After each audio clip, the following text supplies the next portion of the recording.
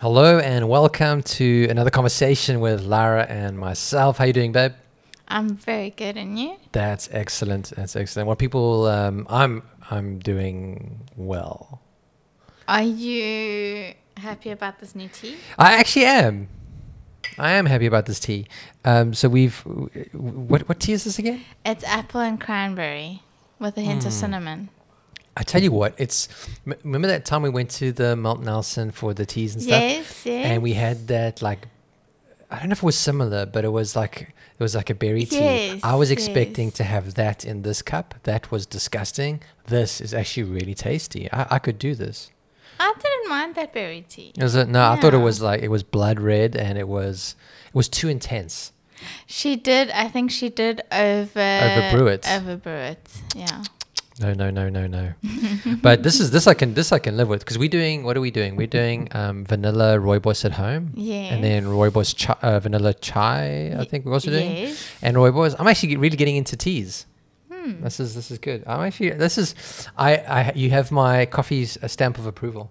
Your coffee stamp of approval. What's that? That is um, a coffee person uh, um, approving of a tea. Okay. So so far rooibos, vanilla rooibos, and then this is this isn't rooibos, is it? No, no, it's a Ceylon tea A Ceylon tea. with the infusion. Yeah, I like that. I like that. We're getting into our teas. Um, so yeah, let us know. Like, what's your favorite tea? I wouldn't mind knowing that because you can just get a tea community. Um, to, uh, tea time with uh, the yeah. Anyway, we don't have a surname that starts with a T, so that doesn't work. Yes. Has to be alliteration. Um, but uh, what other teas have we got on the menu? We got we're gonna like mix it up over the next couple of We've weeks. got chamomile, chamomile. uh, peppermint. Wait, will chamomile put us to sleep? It might make us sleepy, Okay. especially since it's the afternoon and it's already a sleepy time. Okay, okay. Well, I could do that. I can have a snooze. We also have lemon and ginger. That one could be dodgy. Like that could go either way. Well, you like ginger, but I don't. No, I do. I really like. Uh, I well, I don't like a lot of ginger. I like splashes of ginger, like ginger in juice, because you just it just feels good going down, and you know your body's gonna love it. It's gonna No, thrive. it It's going to thrive. Yeah, it burns, but never mind. never mind.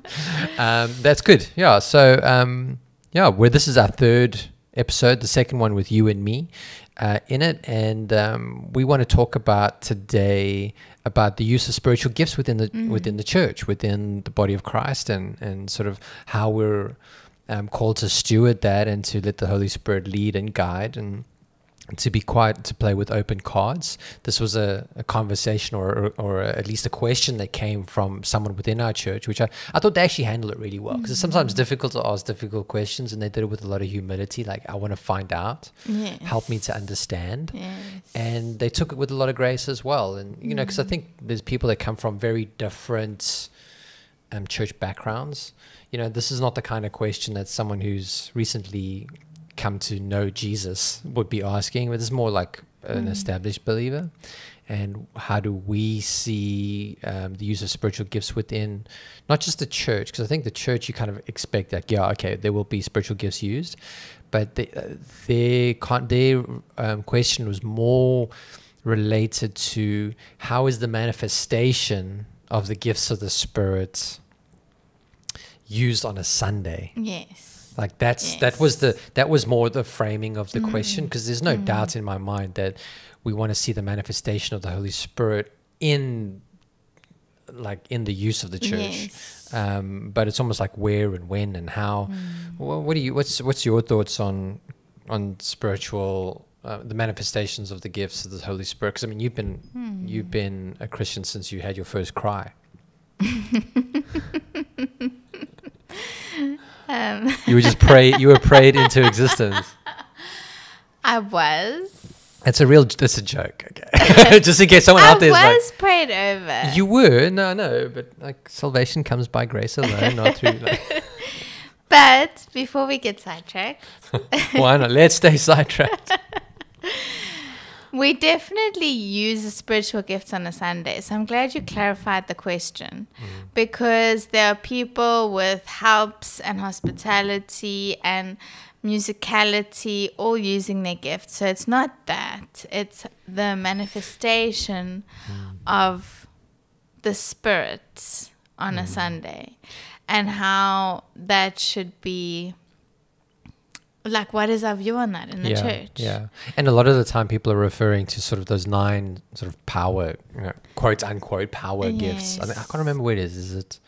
It's either in Romans or, or Corinthians twelve or something like that. Yeah, so it would be things like prophecy, speaking in tongues, um, words of knowledge, um, discernment, um, interpretation of tongues. Those Miracles, types of faith. Yeah, yeah, Yeah. yeah, Absolutely, absolutely.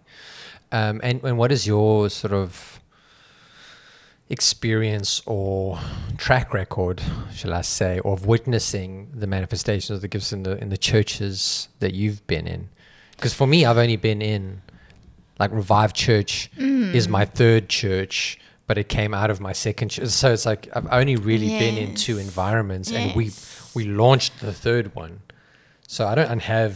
So I've only seen what happens on YouTube and what Yes. heard. So I was a teenager in church when there was the Toronto blessing, which was quite um, in your face manifestation of the Spirit. And I will never say it was or it wasn't from God because I will never speak against the Spirit. Um, and the people who were touched in the Spirit were God fearing people who wanted to follow God and serve Him, and they were in a church service and they were touched in the Spirit. yeah, Um, so I'm not saying that wasn't that was like fake or Yeah. weird. I'm saying it was just what it was at that time.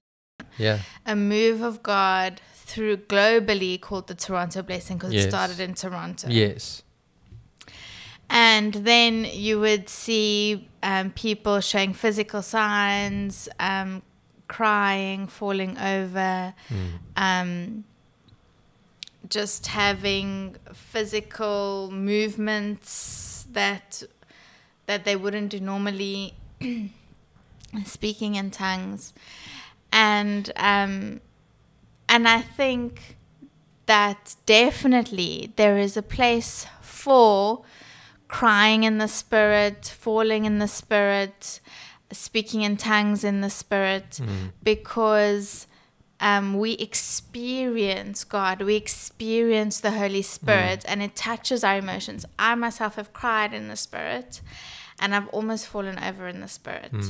Um, and I wasn't forcing anything or trying to cry or um, faking anything. It was a real experience of the mm. Spirit. yeah, that's good. And so I think there is a place for that in the church, mm. definitely, to be filled with the Spirit. But being filled with the Spirit is for a purpose, and that purpose is to be bold to reach other people with the gospel. Good. And so I we mustn't chase the experience just to feel that emotion and mm. leave it there. We must say, Am I growing spiritually because of this experience? Am I reaching other people because of this experience? Because it's not goosebumps for goosebumps. Mm. It's God wants us to grow more like Jesus and to tell other people about him. Yeah, And so there must be a purpose in it, and uh, equipping, emboldening. Um, and I think because it feels so amazing when the Spirit is touching you that people can become addicted to that feeling and they can chase it and they go, can go from meeting to meeting and church to church chasing that feeling of the Spirit. But if it just stays there, if it's only just a feeling and nothing more, then I don't think um, I don't think that the fullness of it is being realized. Yeah, sure. I think it's a lot of wisdom, like a lot of wisdom there, because you know, we don't want to. Even Jesus said when the disciples came back to him, said, "Oh, the you know the demons they they are they subject to us," and he mm. said, "Hey, don't rejoice in the fact that demons are subject to you. Rejoice because your names are in heaven." Mm, and it's that that the the use of the gifts, but also the communion of the Holy Spirit. Like, how do you commune? How do you relate with Him every mm. single day? Because He's He's there to help you, lead you, and guide you, and He's there to anoint you and come upon you for works of ministry. Um, and we, we can't throw the manifestation gifts out because we need that in the church. It's, it's, it's like this is the Holy Spirit is the distributor of the gifts, and He distributes them as He sees need. Right? If we honor His presence, then then He says need like he'll do it. But and and Paul says in Corinthians like uh, like desire the gift, like earnestly desire the gifts Yes. but we can't manufacture it and i think if we try we would we actually cause more hurt, hurt harm and damage than if we don't. Um, i mean I, i've you know been in places in church and I myself like we've had prophecy you know given prophecy had words of knowledge had um, faith like supernatural faith for certain things. Um, i myself have laughed and cried in the spirit like but i think it's always to know hey we're all supposed to say your subject like the like in a sense that the holy spirit doesn't take over you and control you like a puppet. Like you actually have control over yourself. Um, and so so like i always think you know we mustn't just come in one but there's actually there's a there's not like a balance. I don't want to say a balance because balance is an overused word i think but there is wisdom in how to use and how to let not let down. It's like it's almost like we're governing um, but how to that there's freedom for the spirit um, that we don't stifle him but also that we're not trying to manufacture anything. And so um, what does like what, what the question came up was really good because they said that hey we we know that from our church's belief statements that we believe in the manifestations of the gifts of the holy spirit. Yes. the manifestation means his power at work like the outworking. And uh, but the question was like why don't we see a lot of that on a sunday necessarily? Like are we being spirit led are we not? And it's a good like i just think it was an honest and a good question. And i just kind of pointed to what paul was saying to the corinthian church in chapter 14 after he does the the gifts of the spirit then he goes on hey love is a better way. And then he goes on hey when you when you come together in your services um, he pretty much says you know it's better to speak like what five intelligible words than it is to speak a thousand words ten thousand words in a tongue. Yeah. um, because those five words can actually build people up who understand it. Yes. and he talks about let me actually i've got the scripture here at the bottom and it, and he's um, i'll just highlight the sections that are, he says um, anyone who speaks in a tongue does not speak to people but to god the one who prophesies speaks to people for their strengthening encouragement encouraging and comfort anyone who speaks in a tongue edifies themselves but the one who prophesies edifies the church unless you speak um, intelligible words with your tongue, how will anyone know what you are saying? And then he goes on to say, So what shall I do? Shall I? I will pray with my spirit, but I'll also pray with my understanding. I'll sing with my spirit, but also sing with my understanding.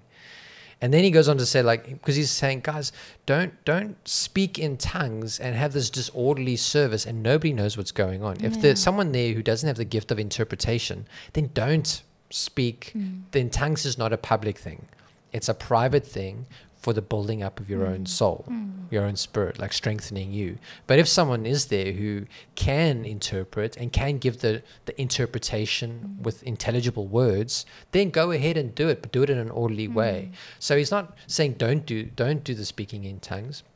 And he goes on to say like a little bit of a church flex, you know, humble brag. He goes, but I thank God that I speak in tongues more than all of you.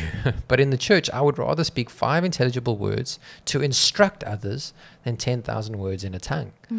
And I think that's the guideline that we want to follow is that um, speaking in tongues is a heavenly language that God gives to believers. Um, and we should probably even just mention, talk about a little bit about that. But there's different types of tongues for different types of situations. And so, unless there's someone in our church that we know it has the gift of interpretation, and a- let me even say a proven gift of interpretation, like a tested one, we wouldn't we, we wouldn't just get the church all praying in tongues. Yes. Um, and speaking intelligible words is more important in a public setting so that people can be strengthened in their faith. Like, because you've got people on different journeys people who are speaking in tongues, who aren't speaking in tongues, people who don't do know Jesus, people who don't know Jesus. There's so many people in the room that we just want to make sure that we're able to Yeah. build everybody up Yeah. in their faith. And so it's not like, it's just, I think there's, it's not like it's wrong. I just think there's a better setting Yes. you know and we we lean in that way with with pretty much most of the manifestation gifts. Like unless there's a known person or a trusted person like we probably wouldn't do it because we also don't want to create you know um, we don't want to create this culture of you know anyone just comes up and says anything and we don't know what their relationship with jesus is Yeah. like so we want to bring that we have this trust with our church. Um, so you know we do there are areas that we do lean into like it's not like we go into the weekend going well let the holy spirit take a break. We're gonna we're gonna do this. Because we want this i almost think of it this way that the it's the holy spirit service. And we always want to be hearing and seeing what he wants to do and lead us and guide us in. Um, but how maybe you can share like how do we do that? Like how do we Well, I think um, people might think that preparing a message is an intellectual experience or exercise, let me say. But um, the pastors who preach spend time praying and listening to God and really being formed through the message that it's true in their souls and true in the word. And so they, in a way, give birth to the message on Sunday. It's not an intellectual exercise that you just get information from the Bible and the commentary and then you say it.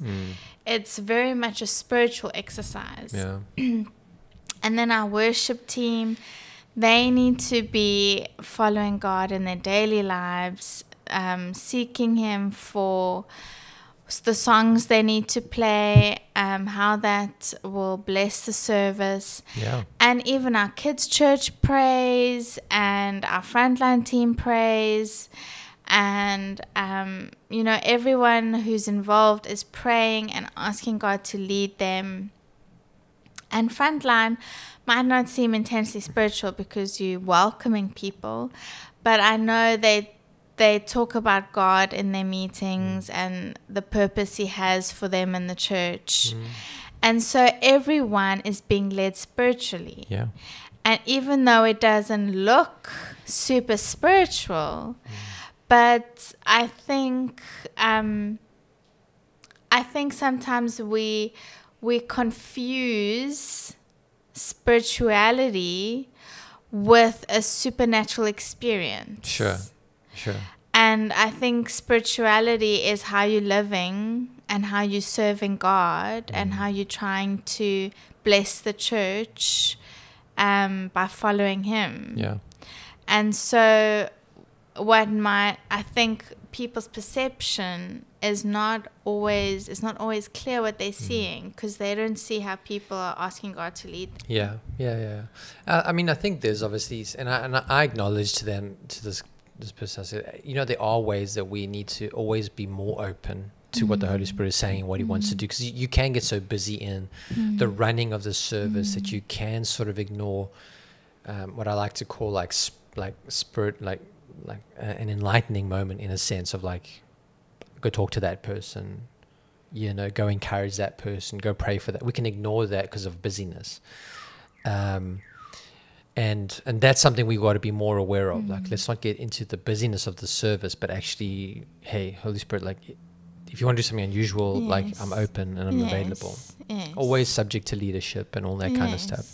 Um, and even like the, the the way that the band, you know, in in their preparation, they're they're preparing and trusting the Holy Spirit to to help them to put the the songs together for that day. There's a mm. there's a service, a prayer service before every meeting, mm. every um, church service, where we're praying for the Holy Spirit to move. You know, we we trust for transition moments that there's a word of encouragement or mm. prophecy, because New Testament prophecy is that encouragement and building up of the church. Um, or words of wisdom, you know. And sometimes we give words of wisdom from stage or words of prophecy, but we don't we don't um, phrase it thus says the Lord. you know, we, Yes, we, we give we give like room there and say this is what I think is happening, or we can or we just say it, and Hmm. just because we don't preface it with any sort of line doesn't mean it's not from God. Yeah. So, um, yeah, so that's it. And, and I think like we would we want we want God to raise up prophets in our church. Um, and people uh, we, throughout the years, there have been people that have come forward to to want to like submit a word and trust that the leadership mm. that God will show the leadership whether that's a word for the church right now or mm. not. And so we that's always open, you know, like people can come to the front. We don't publicize it because we don't want just tons of people coming to the front, but the people who are in leadership who know us always have the freedom to come to us. Mm. Um, because I think what you what you were saying before about spirituality versus the manifestation, I'm, I'm using that just to really go on the other side, um, is so important because we've all known people, or seen people from afar who have had anointing and have had powerful ministry, but their internal world was falling apart. Their, their spirituality wasn't like they weren't close with God. They lost the fear of God or, or whatever along the way. And what we want to make sure is what we bring to God is we know God for ourselves. And what, what He does in our midst is an overflow of that. Yeah. Um, so that's, I mean, those are just some of the ways that that that I like to think about it. Um, yeah, obviously there's there's things like prophecy, like Old Testament versus New Testament prophecy. Um, what what are your thoughts on on the prophetic? I think um, in the Old Testament, we read of specific people who were prophets to the nation of Israel. And and we must remember that in a whole nation, usually there was just one or two or three people who had that office. Yeah, So it wasn't a lot of people, though there were schools of the prophets who were mm. being raised up by prophets to operate in the prophetic. Mm. But we have records of certain prophets. Mm. Um, and I think in the new covenant that has changed that has changed slightly because it talks in the New Testament about prophecy being an encouragement. Mm. It's not a call to the whole nation or anything like that. It's it's an encouragement and yeah, I don't know if you mm. can speak more. yeah. I mean, you're right that that because because now there's a different dispensation. Before, you know, God was in heaven, and the way that you related to Him was through the temple and through obedience to the law. In the new covenant, because of Jesus taking our our sin away and making us right with God, and that we have the presence of His presence with us all the time. The Holy Spirit Yes, literally dwells within every Yeah. believer, and comes upon a believer in a baptism. Um, that prophecy is like it has changed. There's a different way to relate to God. Mm. The Word is bringing us back to, to the Lord. The Spirit leads us to the Lord. Like all of those things are happening. So the New Testament prophecy is for edification and encouragement and comfort and not necessarily operating in that prophetic office. Yes. But God still calls people to prophetic office, um, where they are called to raise up prophets and they are called to to give more specific speaking on God's behalf. So there are prof- uh, same as like you know it's Ephesians chapter four, where it says God has Jesus has given these gifts to the church: the apostle, prophet, teacher, Yes, like yes. that, the shepherd, and so that is at work, but it's not. Again, it's not like hey, every other person is a is a has a prophetic office like Mm. that role of of of prophet, but we can all be prophetic, you know, Yeah. in Holy Spirit, like, is there a word for this person? Is there a word for our church? Is there something you want to say? And He can give us an impression. He can give us words. He can give us images. But that's, you know, people who have the the the, the office of the product will product prophet will give you specifics sometimes and say, hey, this is, and they, they won't do it to shame you. They'll actually do it to build you up. Like God is saying this to you. People who can operate in the gifting of the prophetic would be like, hey, God loves you. And I, I get a feeling like you're going through something difficult right now. Mm. And I just want to remind you of that. And I just feel God's love for you and I want to pray for you. Like that's, you know, that's a Yes, different way of doing it. Like it's not to call other people out and to shame them, Yeah. but to actually build them back to God. yeah. Um, and then we've got the the baptism of the Holy Spirit and praying in tongues. Um, this is where I think people in Western church, if you've not been in a Pentecostal church, it can get a bit Mm. strange for people like that don't understand it. Mm. How would you best explain it? So for me, I would explain it as everyone who gets saved gets the Spirit living in their hearts. Yes. But the baptism of the Spirit is more of the Spirit in your heart, so much that it overflows Mm. and you speak in a language you do not understand, or you cry, or you just experience something different. Yes. Um, and yeah, you could be speaking in a heavenly language or another language on earth that you've never spoken. Yeah. And um, and it's there so that you can tell others about Jesus. Yeah. Yeah. Yeah. Yeah. Yeah. Like what we see in scriptures that the Spirit, like, you regenerate. Like the only way that you can become a Christian is if the Holy Spirit makes you alive to Mm, God. Yes. and then he comes upon you to for power to be a witness Yes. Yes. right that's really Yes. acts chapter 1 Yeah. right Yeah. um quick question do you pray in tongues Not as much as I should. ah you see Mm. public shaming happening right now do you pray in tongues? yes Yes. i do because i don't know what to pray most of the time because the needs are so big i'm just like i need i need i need the holy spirit to, to guide my prayer I think praying in tongues really strengthens you. Um, I think it's so important, and I wish I prayed in tongues more. And yeah, like they said, you know, like Paul said, I speak thousands of yeah more than all of you yes of words and tongues. He knew it was important, and he knew it was um, spiritually edifying. Um, but I I had a different experience of being baptized in the Spirit. Mm. I don't remember when I was baptized in the Spirit. okay but tell us tell us we want to know I was in I've never asked you um, kids' before. church, okay and the leaders got us all together and prayed for the baptism of the Spirit over all us kids. i love that And we just started speaking in tongues and we were baptized. And because we didn't know what was going on and we we were like, wow, let's do this thing. We weren't shy, we weren't inhibited. Um, we just prayed in tongues. I love that. Do you know what I love about that? Because there's no junior Holy Spirit, right? He's not. He's not when you cross a certain age group, then you become a. Yes. That, that's so cool. I love that. Um, I've never asked you that before. That's so Yeah. interesting. And and I think it's amazing. We mustn't limit the work of the Holy Spirit in our kids' lives. Mm. Because John the Baptist was baptized in the Spirit when he was in his mother's tummy. That's true. And so there really is no limits. There's God wants to work with us spiritually no matter our Mm. age.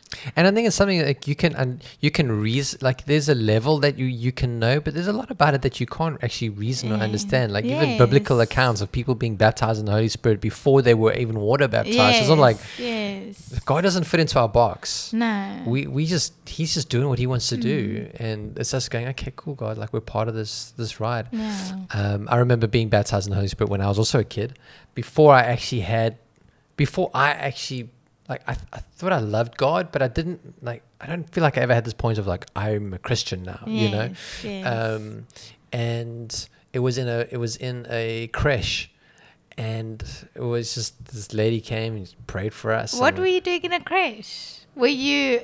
I was after years school. Oh. no what's the aftercare Oh, aftercare. yeah, yeah, aftercare, aftercare, and prayed and it's just like mm, for missions and like calling this stuff out and yeah, I was just like laughing in the spirit, baptized in the spirit, and then um, the kind of the real, not the real moment, like that was a fake moment, but I think the one for me that that was this was out of a real place was Yes. um, in high school uh, in matric, just you know, was prayed for the infilling of the Holy Spirit, Yeah. baptized. Were you at church? Hey? Were you at church? It was like a special meeting. It wasn't a Sunday service. Okay. It was like a special meeting um, because this like prophet lady came and brilliant and um, gave prophetic words and we're baptizing people in the Holy Spirit and yeah, that was that was a moment again like um, laughter and crying, probably all part of the same Mm. thing and and then invited to pray, to to receive a language Mm. to pray and, and I did and since then ever been praying.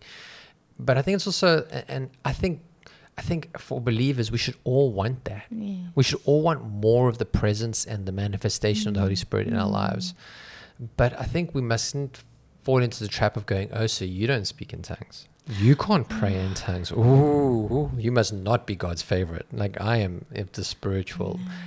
el- Like that's just No, absolute that's garbage. Do you know what I mean? That's absolute garbage. So it's not like, we, and, and we don't, we speak in tongues and uh, like we don't, we never do that. We don't talk, we don't walk around telling people about that. And often when we are praying in tongues, it's under our breath. It's you know, um, and it feels. It's honestly, it's boring because you don't. It's Paul writes in the scriptures like your mind is unfruitful. So I pray with my understanding while I'm praying in tongues because I'm like kill two birds with one stone. but um, and again, it comes down to faith and how you operate in gifts. And and the thing is that it's a gift, and every good gift comes from God. But what we don't want to do is get up on a Sunday. Come on, everybody, we're gonna pray in tongues all together. Yeah. So what we have done is we have had moments after services where we've dedicated to baptism of the Holy Spirit, infilling of the Holy Spirit, and we explain it. And we we've had mm. moments where people have received the speak gift of speaking in tongues because we pray for that as well Yeah. with the laying on of hands. We don't do it all the time because you know, like as much as we would want to do it, but we're trying to do it in an orderly way that shows love to people that are there as well. Mm. And and that's what Paul says in 1 Corinthians 13. All these gifts are amazing, but unless we're doing them in love, they're absolutely mm. pointless. Like it's just a mm. resounding gong.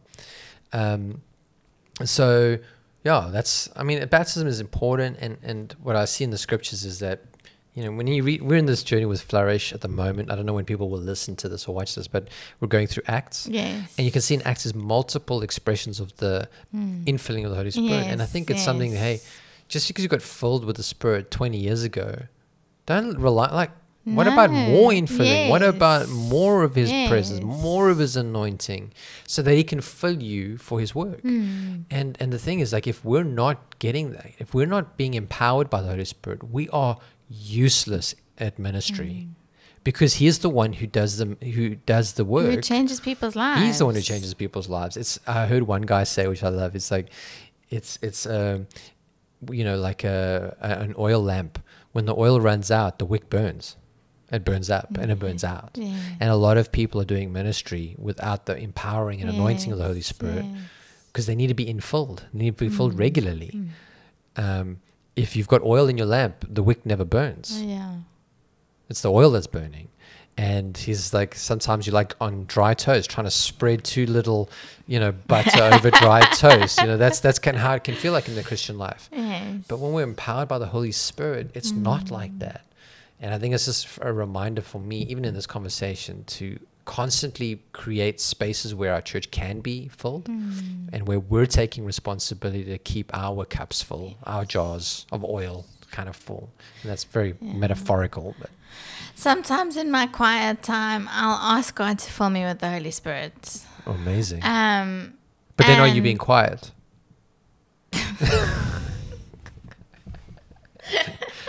Sorry. In my devotional time. Wow.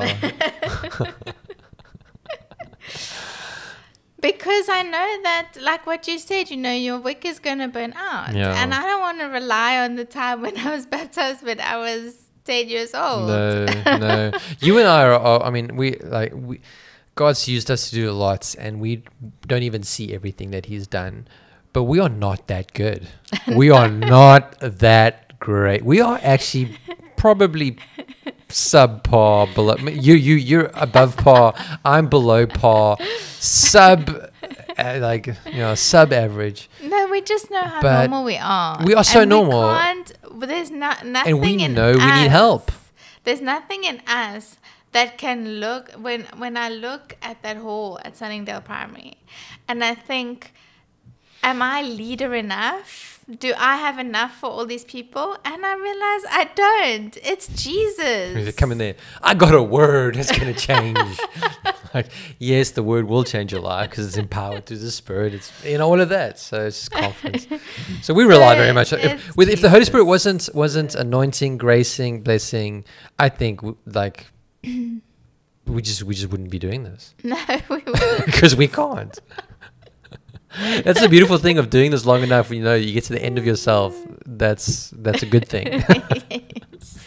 Um, but li- like again, we were saying manifestation of the Holy Spirit and the gifts of the Spirit are important because again, it's a gift that God gives the church mm. for being a witness, for setting people free, for bringing the kingdom of God mm. and the reality of the kingdom of God mm. into people's lives, and not only that, but we see that as a precedent throughout the throughout the New Testament Mm. and it was like, yeah, this is part of church. Like, so we, we know that we need more of that. But what is the, what do you think is the best environment to cultivate that kind of thing? Well, you have chatted about creating a space in the service on the side. But I think life group is also a place, it's like a safe environment with people you know and to encourage each other, those prophetic words that encourage, to pray for each other, to pray for the infilling. And we don't want to make life group disorderly, but I think we can do it with respect and care for each other For sure. and and um and yeah definitely also we used to have um those praise and worship nights Yes. but now you know venue it's difficult It's different. Yeah. It's different. So it's difficult. we have to find other Other uh, places. places for sure. and it's and you know the new testament church didn't have this amazing hall with praise and worship and lights and they prayed wherever they were Yeah. so yeah I think it's quite right. I think as believers, we need to go, Holy Spirit, lead me today. Do you want to do mm-hmm. something through me today? Do you want to say anything to anybody today? And being like, being us being aware of that. Mm-hmm. And I think a great way, place to practice that is in a small group, is in community groups. But of course, you're in the community. You know if there's someone there for the brand for their first time, you're not going to go swinging on. I'm going to say swing on chandeliers, but you're not going to go and try something. You, you want to get that person like mm-hmm. connected first, so that there's trust that's been built, right? I think in a high trust environment, it's it's a lot easier for us to start cultivating those mm. gifts. And I think even from us, maybe it's a, my, the takeaway that I'm getting from our conversation is how can we encourage environments where people can take steps yes. and learn and grow. Yes you know because even when you start praying in tongues most people don't start with this like huge vocabulary Yeah. of spiritual words. A lot of the time it's with like three or four words or it's the mm. same word and then it builds and it develops over mm. time as your faith and confidence in God grows. Mm. And I think it's the same thing with all the manifestations of the gifts. Like we need environments where we can learn and grow and develop. And if we get it wrong that there's enough trust in the room to go that's okay like let's let's learn from it. Let's not stop it. Let's learn from it. And um, yeah i think it's probably something we do need to talk about a little bit more than what we do. Yeah. Um, but again i think we want our services to be a place where there is order that the holy spirit has got freedom but that we're not just creating this like chaotic environment yeah where people don't understand what's going on, where the only people who are loving it are the Christians who've been Christians for 20 years, but the person who's seeking God is like, oh, I don't know what I've walked into. Um, but that there are spaces for these things and order and, Yeah. and just trying to follow Paul's advice to the Corinthians church, like, and, and see how that can help us to grow. And me, I'm asking God now, like, God, Lord, let me, is there a message that I can share with someone? Think just having that awareness hmm. rather than relying on yourself and your own wisdom. Yeah. So even someone who's not maybe ministering in church world, if you're in a board meeting, like what a great place to actually ask the Holy Spirit for a word of knowledge or a word of wisdom. And you don't have to tell the board, by the way, or in you know in the board in the in the office, this is what the Lord says. You can say, "Hey, I, I get this feel that," and you share it, right? That can still be powerful. So Hmm. yeah, I'd, I'd love to see the manifestations continue to grow. I, I think it's part of revival, but I also think the biggest thing of revival is souls in the kingdom of God, not necessarily manifestations. Hmm. Um, but yeah, any parting words before we close? I just want to say that we have a prayer team Yeah. who's available after every service. Very good. Who are ready to pray, to get a word of wisdom, Yeah. To encourage, to pray for you to be filled with the Spirit. Yes. Um, make use of it. I and mean, God gives them insight, like spiritual Yes, insight into things, right? Gary and Patty lead their team. They're seasoned Christians, full of wisdom. And yes, go to them. Yeah, yeah, that's brilliant. I love that. Cool. Um, I think that's it. And and you know, as always, I just want to encourage you. This is a very new format podcast for Laura and I. And if you've got any specific questions, please just let us know in the comments. We'll check it, or send us messages and emails. We'd love to try and be as helpful as we can with this podcast. Um, and it'll go beyond Sunday, so different kinds of topics we will touch on um, and really wanting to make sure that we're feeding you in a way that you need right now. So, however we can help, that's the goal. It's been awesome talking to you again. Yes. Hey, we should do this every week. Hey, we, we like hey, we've just had tea time. Hey, we've had tea, a tea time date and had a good conversation about spiritual things. Anyway, God bless you guys and see you at church on Sunday.